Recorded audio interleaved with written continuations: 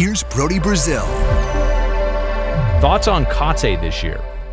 I think he's done a really good job. I think it's a hard job. I think it, you know, dramatically changed from the day he said yes to the roster that he had and some of the ups and downs and departures and holding a group together. It's it's it's been a really hard year for Mark Kotsay, I think.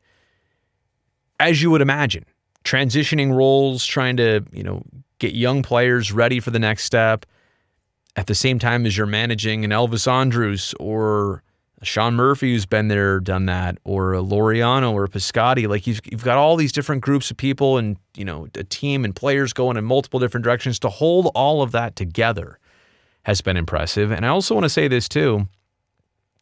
You know, Mark Kotsay is somebody who had, before this season, never even managed a high school baseball team. He'd never managed at any level of baseball before this season. So, all things considered, he'll be very good at this. If he's not already, he will be very good at this, you know, in a couple years and really gets it under his under his belt and I think he took on a very tough role. I think he's one of a handful of people that I would have even wanted to do this job. He gets the organization, he knows where, you know, he knows where he stands, he knows he's got support. I think he's going to be around for a long time.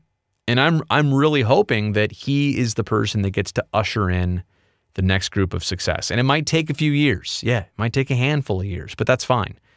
I know he's a committed person. I know he understands where things are at.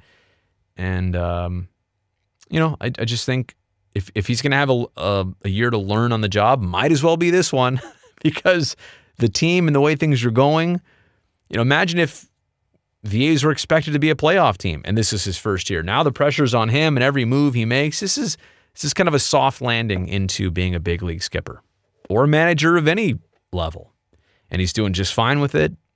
And I think he'll be great, even greater as time goes on.